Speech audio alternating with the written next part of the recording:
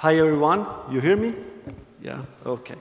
So, how many of you play video games? Great. How many of you develop video games? Hmm? How many of you would like to develop video games better? Okay. Again, how many of you know this tool? For those of you that don't know this tool, uh, it is the engine, the framework uh, that has been used for develop the following titles. If you are a video game player, you should recognize at least one of them. Gears of War, one of the masterpieces for the current uh, Xbox. Tekken, this is the seventh installment. Street Fighter, I hope everyone knows it. The recently announced Darksiders 3, this company started with its own engine with the previous two installments, then moved to Unreal Engine 4. This is not so famous, but it is, um, it is a Kickstarter, a successful Kickstarter, made by the designer of the original Castlevania series. And even the remake of Final Fantasy VII that is one of the most famous and beautiful games ever made. It is in work with Unreal Engine 4 and a lot of more titles. So, before starting working with Unreal Engine 4, you need to get it. Uh, for those of you that do not know it, do not know it, Unreal Engine 4 is open source. It's not free software, but it is open source. So you register on the uh, unrealengine.com uh, site, and then you get access to the GitHub repository where you can clone uh, the source code of the whole engine and editor. You can eventually build it for uh, Linux, uh, Windows, Mac, or download a binary release. How Epic, the company that makes Unreal Engine, makes money. Basically, Epic asks you for, for the 5% when you start earning more than uh, $3,000, only for games. If you make simulations or uh, films or whatever is not uh, can be considered a game, it is free for use. Once you download the engine, you get something like that. On the left side, on the left side, you have uh, a list of the actors. An actor is something you can drag on the world. The world is a representation of your game. Each actor can have its logic, so you can program them and when you hit play, your game starts. If those two chairs, a table, and I don't know what it is, that strange shadow on the table is, does not impress you, I've prepared uh, another screenshot that I think is way better and can show you how much powerful is Unreal Engine 4. We are programmers, so this is the most interesting question for, uh, for us. How we program Unreal Engine 4? By default, you can uh, program uh, your uh, game logic with C++ that I suppose everyone uh, know, and blueprints. How many of you knows what a blueprint is? Okay. No one, basically. Everyone knows C++, right? Okay. This is a blueprint. It is basically visual scripting. Uh, on the left, uh, you see a event node. It means when the spacebar event, so when you press the spacebar on your keyboard, do something, in this case is jump. So your character will start jumping. Even if you're not a programmer, it should be easy understandable uh, as it cause effect. This is another example of blueprint. We have another event, left control, on your, uh, on your keyboard. And then we spawn, so we generate a new actor, in this case, a missile. So we basically, shot a missile from the position uh, of our player. The get actor transform on the lower left is to extracting the transform. Transforming the gaming world and the linear algebra world is the description of position, rotation, and scaling of an object in the space. This is another example of blueprint the same one as before, but with a delay node added. With only that node, we can uh, implement some form of cooldown for your weapon. So you don't start shooting missile one after another, but you uh, slow down them by 0.2 seconds. Then you, can, you may want to start working with uh, vector math. It is very common in game development to start working with, uh, with vectors. And then you can easily start with this kind of spaghetti. Or you can do even worse. Now, do not get me wrong. Uh, scripting with uh, Blueprint is effectively programming. Blueprints remove only the syntax part of programming. If you respect uh, all of the good uh, programming rules, uh, it is very hard to make this kind of mess uh, um, by following both common sense and good design rule. Blueprints are effectively uh, really cool. This is a debugging session, so in real time while your games run, you can see the nodes highlighting, you can stop them, you can make breakpoint, you can see the value of variables to change, and so on. Before starting programming Unreal Engine, you have to know a bunch of concepts. UObject is the main class in the sense of C++ uh, that is used by, um, by the engine. Uh, basically, anything is in the editor and in your game is a subclass of UObject. An actor is a subclass of UObject that can be spawned, so generated on your world, so it is effectively being seen on the world. A pawn is a subclass of an actor. Uh, a pawn is a special actor because it can be possessed. By possessed, it means uh, a controller. A controller can be a keyboard, a mouse, uh, a joypad, everything that can abstract, abstract the, the human player, or an AI controller for artificial intelligence. A character is a subclass of pawn that has all the, same characteristics, characteristics of pawn, but for anthropomorphic figures. So you have a human with a skeleton that can jump, run, uh, crouch, uh, and so on. Then we have components. Components are reusable pieces of code that you, uh, you can attach to all of the previous uh, classes. If you ever already used some other engine, like Unity or uh, Godot,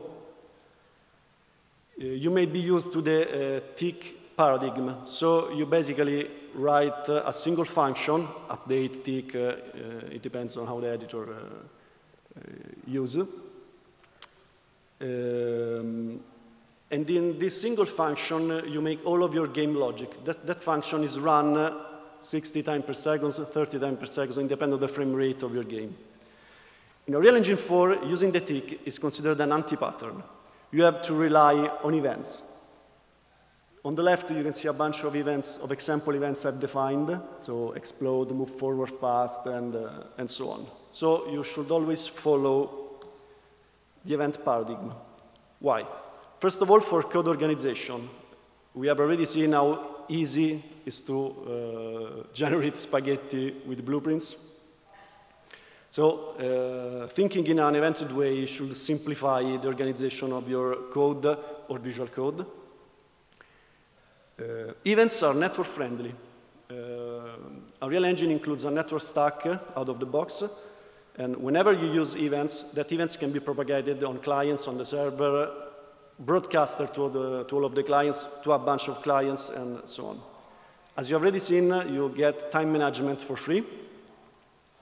Events can be triggered by animations too. For example, if you have a running animation, you can trigger an event when the uh, foot of, uh, of your character is on the ground. I don't know, for spawning particles or for doing noise. And most important, uh, game development uh, is done by a lot of different figures, uh, from programmers to artists to sound designer, level designer, architect, and, and so on. So there are a lot of non-programmers in a team.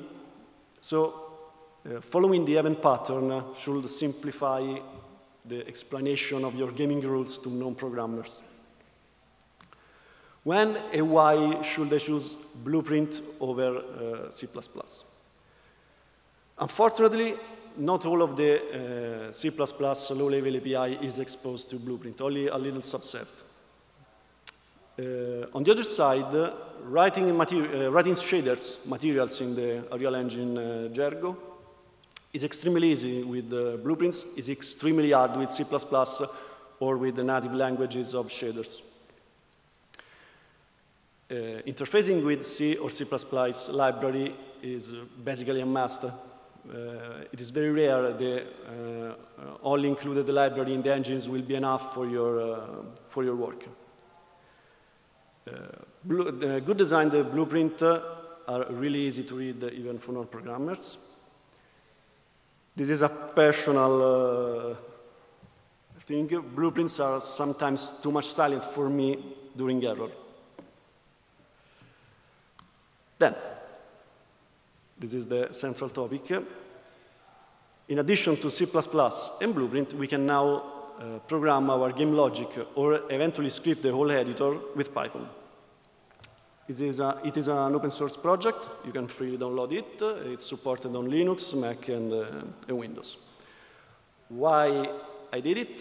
First of all, uh, my dream was to code AAA uh, level game with Python instead of C++ or eventually Blueprint. Unfortunately, I miserably failed. Why? Uh, when, uh, after the first release uh, of, um, of the project, I obviously started checking comments on Reddit, Facebook, and uh, all of the channels where I posted the announcement of the, the release.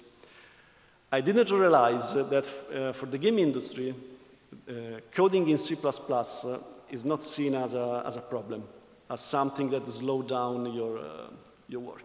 Obviously, there are a lot of more or less uh, uh, myopic programmers that really welcome the, the plugin. But the vast majority of macho programmers throw shit on it without thinking twice. Um. so instead of stopping working on it, I started asking my colleagues and the other company doing games uh, how I should change the, the direction of the development. So after a bunch of chats with these people, I came up with this list of uh, tasks. First of all, the main project in the AAA industry is managing tons of assets. There are a lot of artists, uh, musicians that uh, throw assets in the project, and these assets must be managed by programmer. Assets can change, and the programmer have to change again uh, uh, what is mapped to assets, and so on. So scripting, doing orchestration of uh, your development pipeline uh, it is something uh, really wanted by the game industry, especially before, for artists uh, in the 3D areas, uh, modeling, animating, uh, and so on.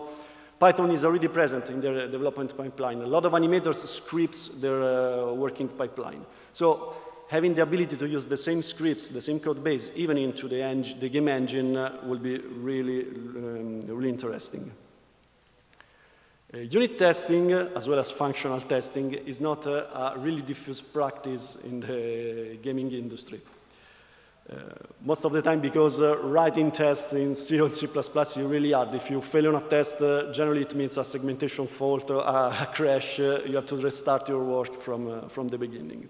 So even having the ability of running unit tests was an interesting thing. There is a lot, you know, there is a lot of uh, Python in the scientific and academic world, uh, and data visualization uh, is another interesting topic for them. So having a really powerful 3D uh, engine will be really useful to show their, uh, their work. Another almost strange thing is uh, simplifying the version, versioning of um, their work. a good part of a game is composed by binary data that you cannot version uh, so well. So for uh, a lot of areas, um, it will be very interesting to write code that regenerate uh, the status of, uh, of your project. And eventually write AAA games with uh, the engine. So I started in uh, August last year. I didn't have high, high expectation. It was more of a, a toy project for me. Uh, first step was obviously embedding uh, a Python virtual machine into the engine, having a console for issuing uh, Python commands, and obviously running code and getting output. Uh, if you do not know, I am the uh, author of the uWSGI project, so uh, I have a really huge experience in embedding Python in C and C++ uh, applications. So it was pretty easy for me to reach this level uh, in basically a couple of hours of uh, development. here you see a, a console built over the native Unreal Engine graphical user interface. I've issued the import sys uh, command and I get the, the output. I was uh, really, really, really happy, but then the hard work uh, starts. First challenge. Uh, I already told you that the um, most important uh, class into the engine is the UObject1. It is the class from uh, where all of the other ones inherits. So I needed to find a mapping between a U object native C++ class and a Python native class. Uh, following these rules, this mapping must be fast. In this time of the development, I was uh, really, uh, I was still trying uh, to uh, use this uh, plugin to write AAA games, so performance was really, really important. This mapping must take into account that both Unreal Engine and both Python have their garbage collection. C++ has obviously no uh, garbage collection, but Unreal Engine implemented one. A funny thing uh, in the Unreal Engine structure is that uh, properties of classes and functions of classes are uh, built like UObject. So I needed to find a way to map this uh, particular behavior even to Python. Obviously, even on Python, uh, both classes and properties can be uh, objects. Those are the solutions. For managing uh, the Python UObject mapping, I've used a C++11 map. If you do not know, C++ only added in 2011 standard the ability to have dictionaries or hashes. When the related Python object goes out of scope, the garbage collector of Python will very probably destroy it. I prevent the garbage collector to destroy the U object mapped to it because uh, uh, Unreal Engine make a different decision by the, the Python uh, virtual machine. So I must ensure that UObject are not destroyed without Unreal Engine knowing it because uh, it will mean a, a crash of the whole editor. Whenever from Python I access the uh, PyUObject uh, mapping, I need to always check that the, that the mapping object is still valid, because if it is, if it is still not valid, uh, it means Unreal Engine has kicked out uh, that object, so the uh, Python uh, mappings maps to something that is no more valid. And then automatically expose properties and function as Python equivalent. After a couple of days, I came up with this. So I can directly call Python script uh, for Unreal Engine native uh, event. Next step. There are, I think, uh, hundreds of C++ classes into the editor. I, I, think there are thousands, but let's say hundreds of classes into the um, Unreal Engine Editor, an engine.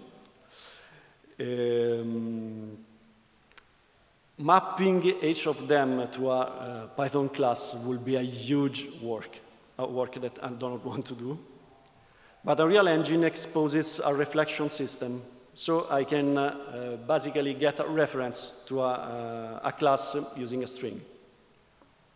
My objective was to do something like that. So import the character class like it it is a native uh, Python class, and spawn, on the last line, a character, so an instance of a character into the editor. Don't be scared for the slide. This is how you write extension in C for, uh, for Python. The uh, interesting part is line 150, that find object uh, camel case function. This is how we access the reflection system of uh, Unreal Engine.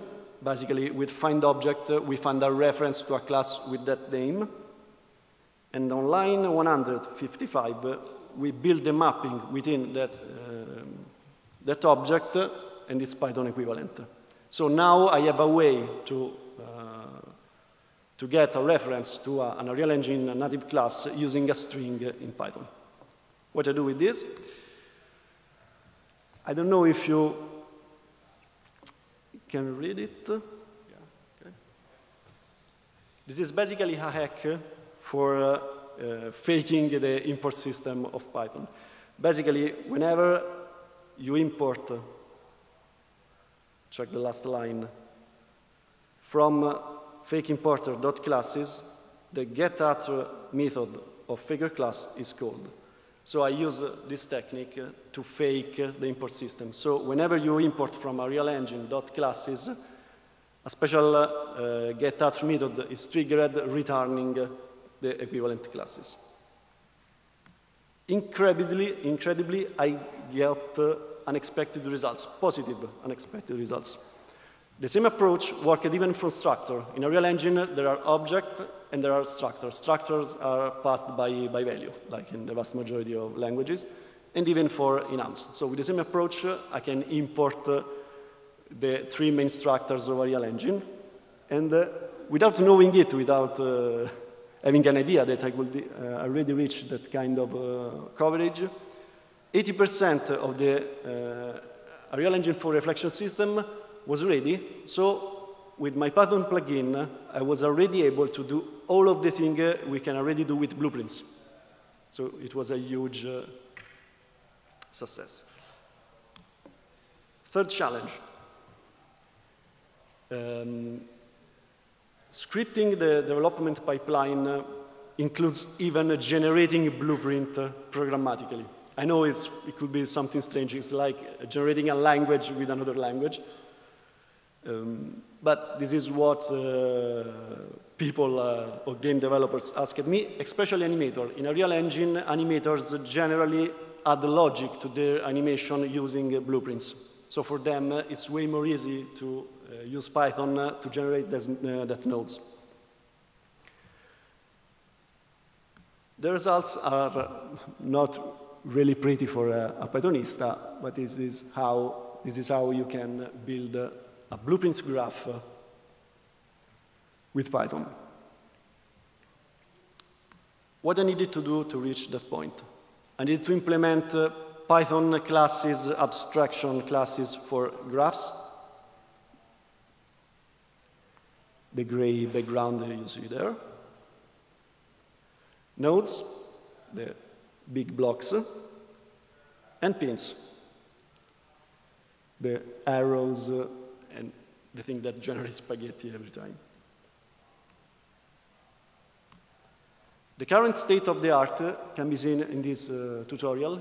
Basically, with only Python, you can generate uh, a whole monster with its animation, it, its brain, um, I don't remember. That you can do really a lot of things in this. It is a pretty huge uh, tutorial.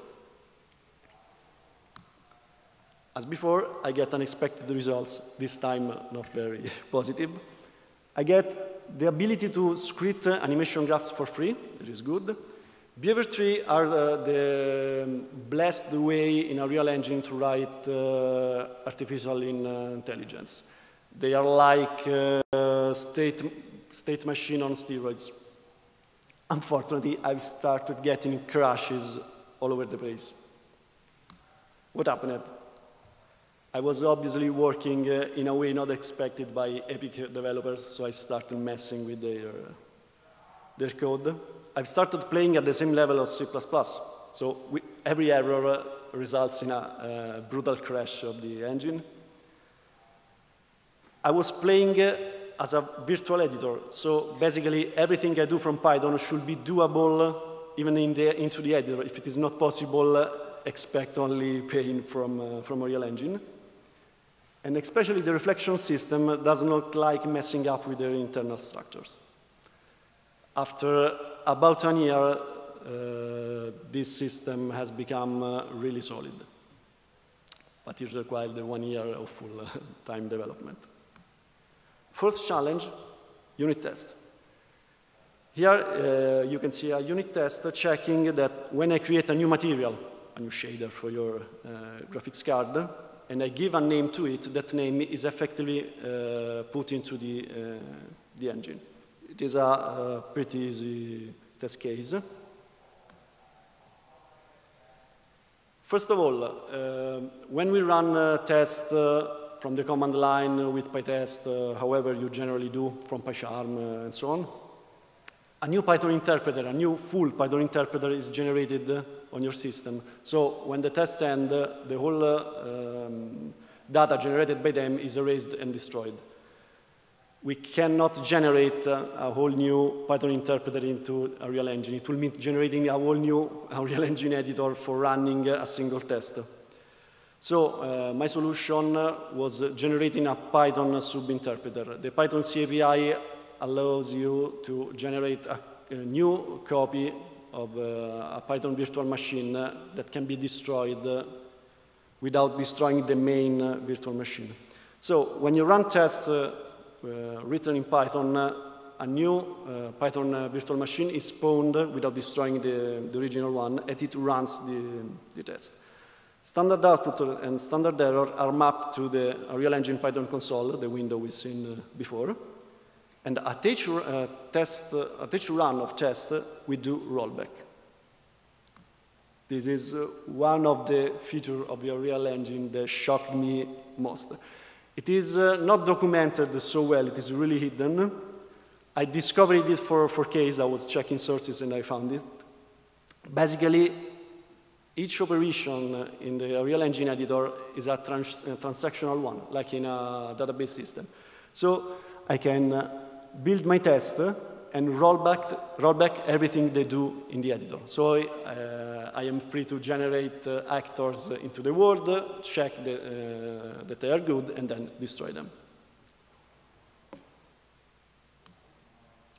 Obviously, uh, the, gameplay, the gameplay is still something I really want to do in, uh, in Python. So I've started adding this uh, abstraction. They are Eh, subclasses of actor, pawn, character, eh, Python component, and PyHUD. We will see later what, what is it. They are a, wrapper for their native counterpart, but, the, but with the ability to call Python code at specific events. After a bunch of tests and crashes all over the place, I decided to use a proxy pattern for uh, mapping Python classes uh, to native uh, Unreal Engine object. So basically, you write a native Python class. A special attribute is injected in this class, so you get access to the native Python object. This is an example of an actor fully written in Python. The begin play method is automatically called when the game starts, and the tick method, albeit it is, a, it is an anti-pattern, is called every refresh of the, of the game. The interesting part here is that self.uobject, you can see here uh, right out to the location, the self.uobject attribute that is injected by Unreal Engine when you map a native class to an already existing object. Why I chose this uh, approach? First of all, for almost safe reloading at each play iteration. Once uh, you load uh, a module or a class uh, into the Python virtual machine, uh, that module is resident, that code is resident. But during development, you want to change code. When you do web development, generally you restart the application server to to see um, code modification, we can't restart the whole uh, Unreal Engine editor because it requires a bunch of seconds to, to spawn. So in this way, I can call a simple uh, imp.reload from, uh, from Python to reload the code uh, of a proxy class. In this way, I have, a, uh, I have a clean separation between Unreal Engine 4 and Python, especially from the garbage collection uh, point of view. As the class is not really tied in, uh, I can destroy one of them without uh, bothering too much the, the other one. This is something I found really interesting, uh, but others don't. Uh, once you have packaged your game, you have your executable, with all of your Python scripts uh, into the, um, the project directory, you are free to change .python, uh, that Python files and basically modify all of the game logic. I, logic. I understand this is not a, an interesting thing to do for a game uh, developer or something that it uh, doesn't want to do from its uh, customer. Obviously, you are free to include uh, not the .py uh, files in your build, but you can use the compiled one, the bytecode. Another advantage of using a proxy pattern that is that I can change during gameplay the class mapped to an object. A character could be mapped at some time of the game to a class and then remapped to another one during uh, gameplay. This is another challenge I'm still working on, and I'm still failing at it, for those people that don't like the uh, proxy pattern. Basically, I want to allow the developer to subclass uh, native Unreal Engine classes with Python classes. It, something a bit uh, strange and immoral for, for some people. as you can see, as uh, um, Unreal Engine uh, uses C++ and it uh, strictly typed, uh, I've used Python 3 annotation for specifying to Unreal Engine what type of value this function take. I'm talking about on cpwn.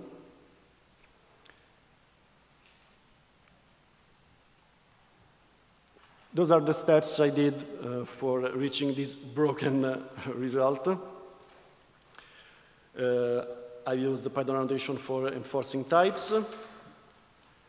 Um, Python became uh, something like a data description language, so I use Python to inform Unreal Engine on how to build its internal classes. I needed to rely on metaprogramming uh, a lot and a lot of pain uh, for reaching uh, uh, the result. Why Python metaprogramming? Because uh, character, the class from which monster inherit, is an object. It is not a class. So I need to write some uh, logic to inherit from an object that is not a class and generate a new class. This is uh, how you can fake the uh, inheritance system. You can see the funny subclass is a child of fake class that is an instance of fake base class. It could blow your mind, uh, I understand.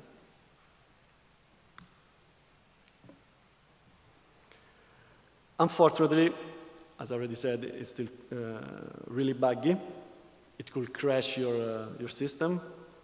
Incredibly, has different behaviors on different engine versions. I really I have no idea why it, it, happens. It is absolutely a good exercise to know how Unreal Engine internals work. Mm, I think it is not so worthy because the proxy paradigm is way more safer and uh, solid, but it's obviously a lot, uh, really, really cool, so I think I will try to, to improve it. What I still need to do to improve the project? I would like to uh, stabilize this uh, uh, subclassing API. I would like to introduce mobile integration because currently you can build games only for uh, uh, Linux, Windows, and Mac.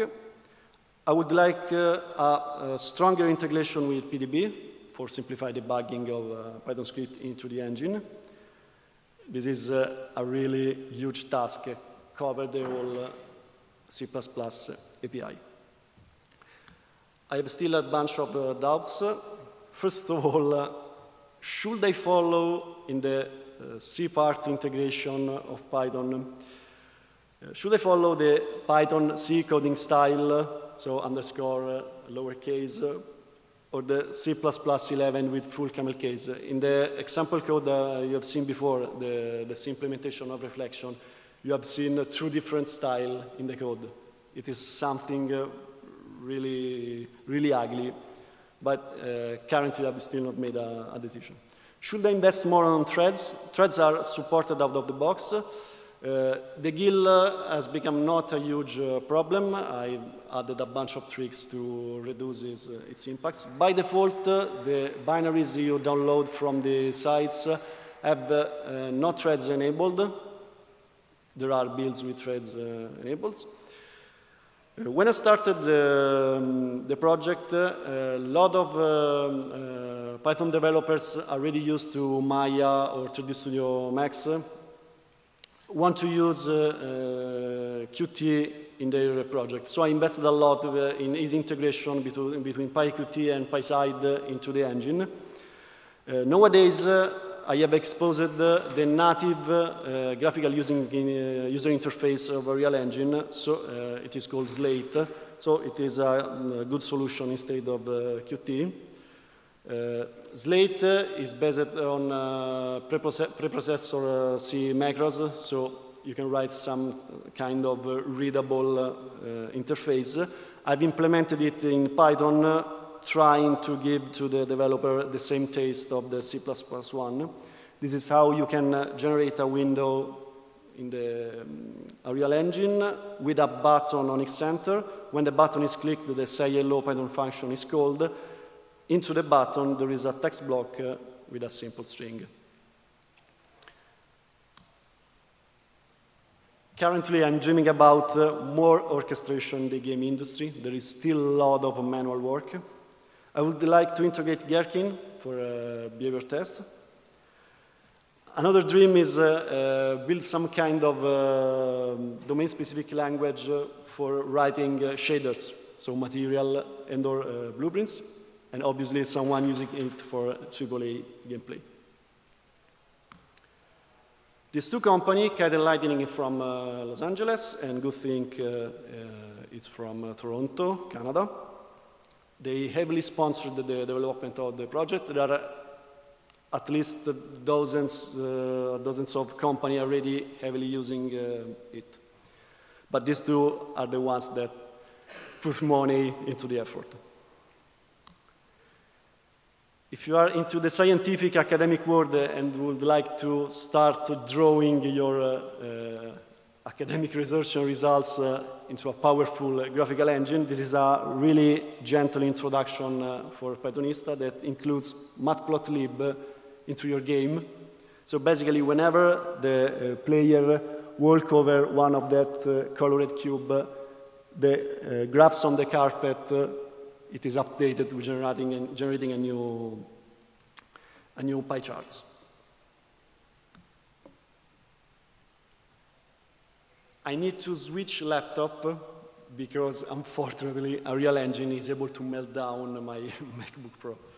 So give me a minute.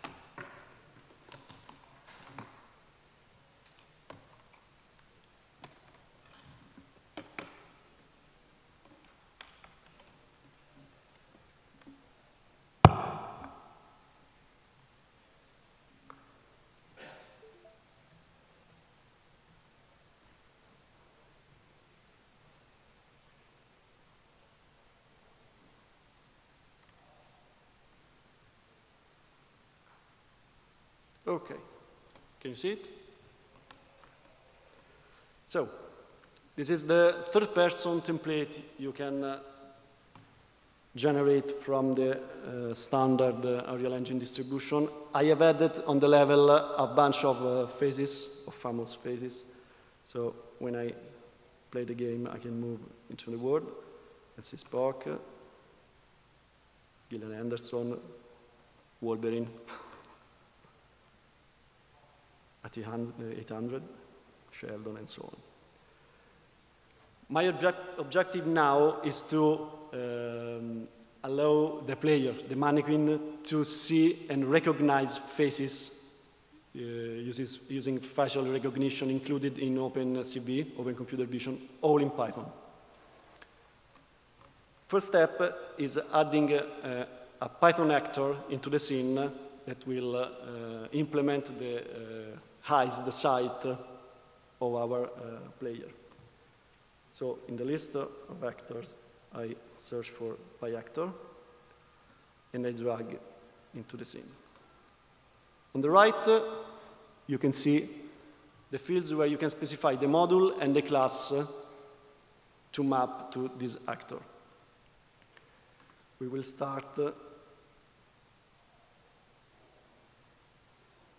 with this simple code. Into the uh, init method, uh, we better. You initialize uh, a timer of one second.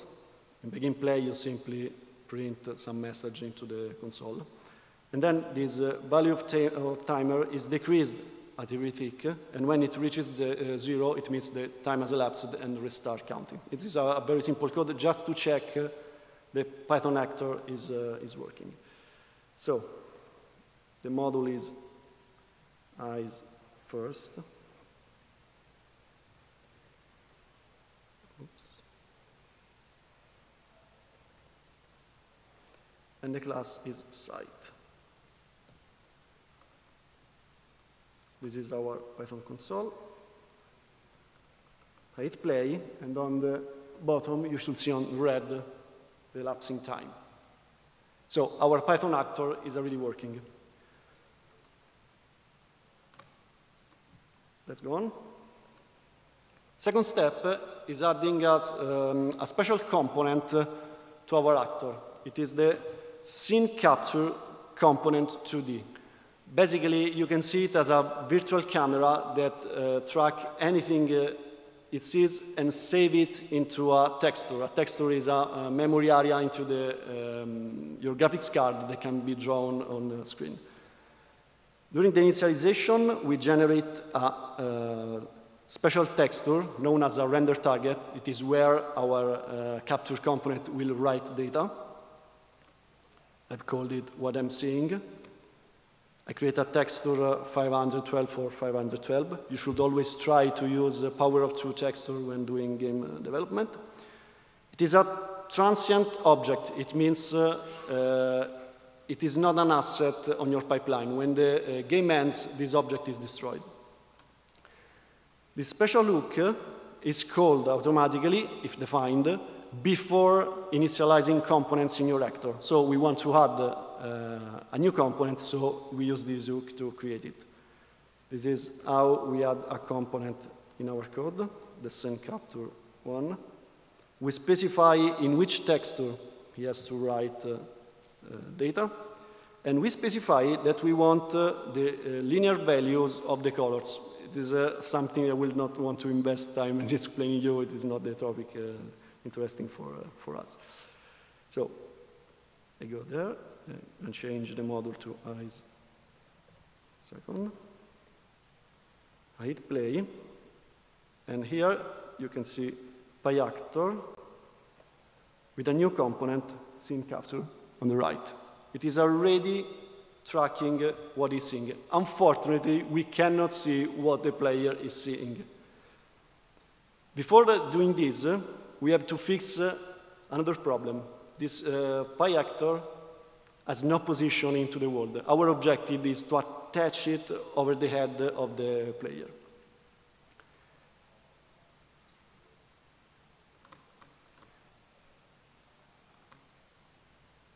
Here all is the same.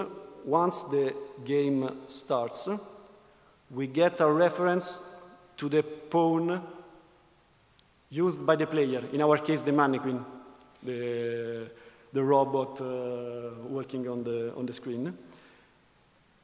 And then we attack ourselves, object. this is the injected uh, uh, field into the proxy class, and we attach it to the mesh component of the mannequin into its head bone. What is a bone? Here you can see our player, and on the left you see the bones mapped to its mesh. Uh, bones uh, are basically um, objects mapped to a group of vertices. So whenever I move uh, a bones, vertices follow it. So our objective is to attach our eyes to the head of the player.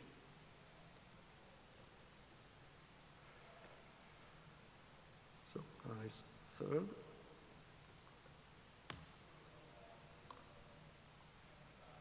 So if we go back, you see the third person character, that is our uh, mannequin, as PyActor 7 as its child.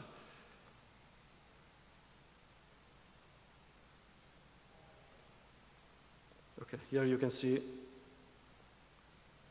the axis of the character, and here you can see the axis of our Python actor. As you can see, it is moving because the head of the mannequin while in idle to some kind of breath. Okay, next step.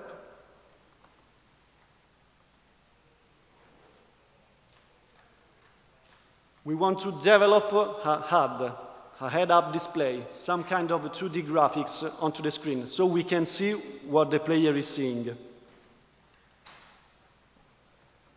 We have added this code. So we spawn a new actor into the scene. HUD is another actor, directly specifying the Python module and the Python class to use we get a reference to the proxy class mapped to this uh, HUD, so we, we, can start injecting values uh, into it. And we specify into the proxy class which is the texture to draw. And finally, we tell the engine that this new Python HUD should be the uh, player one, so the uh, default created one is destroyed, so our Python one will be used. This is our HUD uh, uh HUD proxy class expects you to define a draw HUD method where you can call uh, graphics primitives like drawing textures, uh, lines, uh, rectangles, and so on. Until texture to draw, I remember you it is defined in the other class. It is not defined, it exits from the method. If it is defined, it will start drawing it at the 0, 0 position, so top left, uh, with these sides. So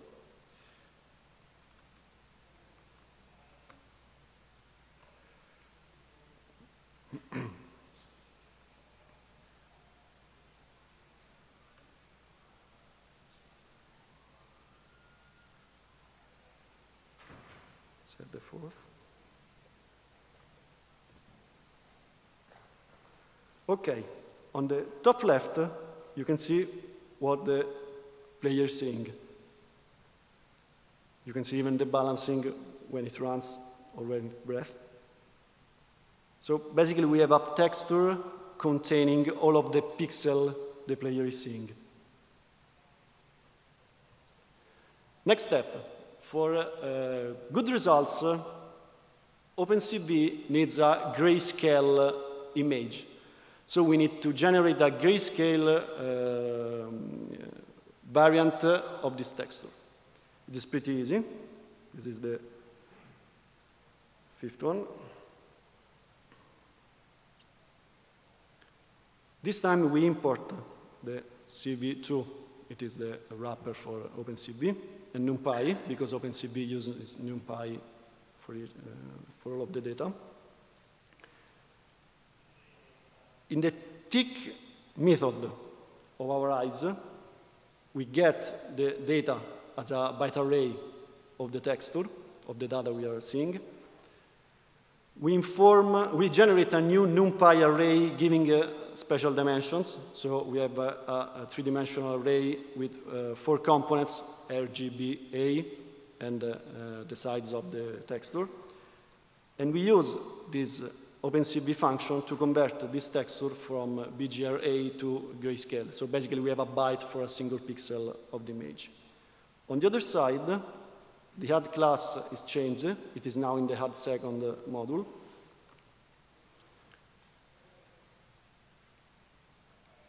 We create another texture with a single channel for, uh, for color, another transient, te uh, transient texture. This time, we need to cooperate with Unreal Engine uh, garbage collector because this texture is never used by Unreal Engine. It, it, even does not know it exists. So after a bunch of time, it will destroy it. We do not want this, so we inform with this method that we are responsible for destroying it when the Python object is destroyed. And in addition to drawing uh, what the player is seeing in full color, we draw another texture below it without uh, ignoring transparency channel because we have a single byte for each color. So I needed to add these uh, additional uh, values. So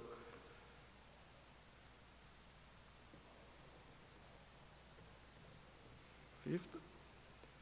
So we have the same view, but in grayscale. Now, OpenCV is able to recognize faces from the below image. This is the last version of the code. This is, uh, these remain the same. All of the OpenCV logic has been done in the HUD.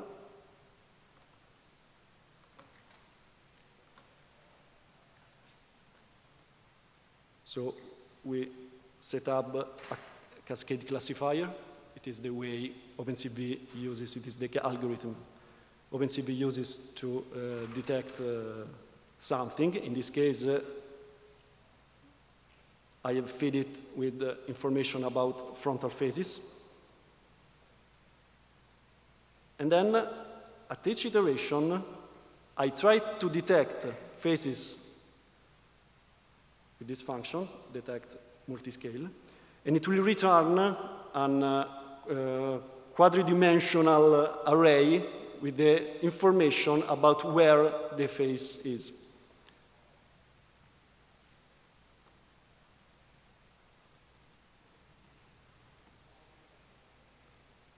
Okay, you should see green. See it? Okay. Whenever it detects a faces. Let's see if we can recognize Spock. Here it is. It is even recognizing uh, Dana. I push Spock away.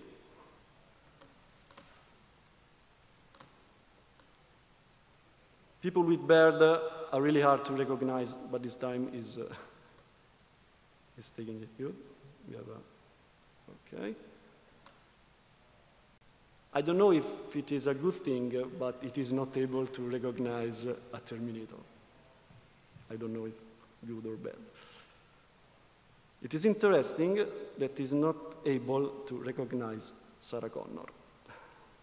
I think uh, it's because of the goggles, of the battle goggles uh, that are really strange for, uh, to recognize for a machine.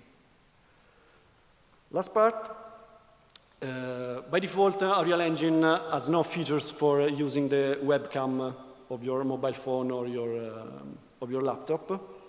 But OpenCV is able to do it. So I've created this cube, and I've added it a Python component mapped with the utils webcam class that initialize a video capture, create a transient texture with the size of the uh, texture my webcam is able to, uh, to manage, and I assign that texture to the material, to the shader assigned to the, to the cube. At, every frame, I try to capture the image from the webcam. I convert it to a suitable format for my graphics card, and I assign that data to my texture.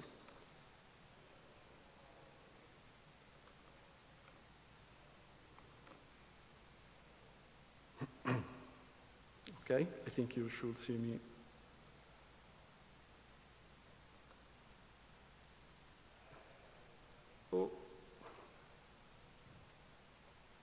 Okay, it is Simi.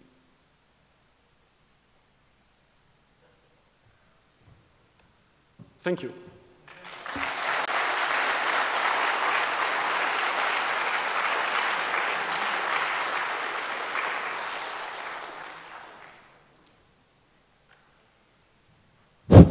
Yes, it's working.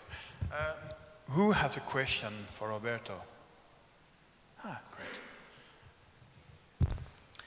Uh, I had been working for Crytek for five years and I know what game development is uh, and I know what pain it is to code game logic in C++ or in Lua script uh, and uh, how ugly look uh, unit tests. Come on, Lua script is not so painful as C++. yes, yes, but anyway. So I think integrating uh, game, game logic uh, and coding it in Python is a really great idea and uh, it's absolutely brilliant. So it's bravo. I, uh, Thank you. Yes. And uh, I wanted to ask you, did you have any performance issues, uh, especially in tick methods, uh, calling it uh, in update loop in every performance, frame? Performance issues? Yes, yes. Um, I've started having performance issues when I started uh, uh, doing it too much with the GIL. Acquiring and releasing the GIL is one of the most heavy um, part uh, into the Python virtual machine. So uh, the default build you, you get from the site have the GIL completely disabled, so you cannot use uh, Python threads. And the impact of Python is not so bad. Uh, last year, uh, Blueprints uh, was an interpreted language, and Python was faster than Blueprints. Now Blueprints are compiled to native C++ code, so unfortunately are faster than, than Python. Thank you. Another question? Ah, yeah. Hey, come on.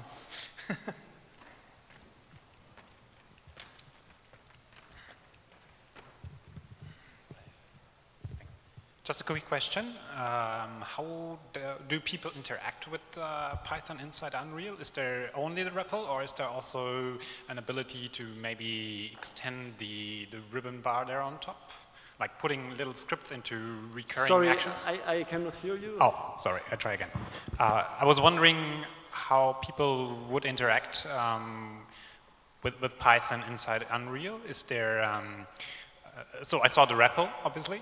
And uh, is, this, is there also um, a thing planned to put like code snippets into buttons on the top of the ribbon for users that are maybe not so much uh, also deep into coding?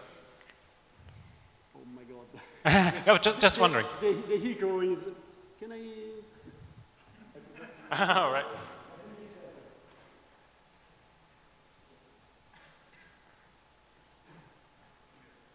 no worries. Yeah, I um, so I saw the REPL. So people would inter interact with Unreal in Python via the REPL. And maybe there's some recurring tasks people have um, while working with Unreal. I was wondering if there was also planned maybe to have some of these buttons that I see on the top to, to in incorporate Python snippets in there Yeah. Ah. Yeah, I, I imagined. Cool. Thanks. Okay. Mm, another question? No? no? I don't need to run? Okay. That's fine. Thank you, Roberto.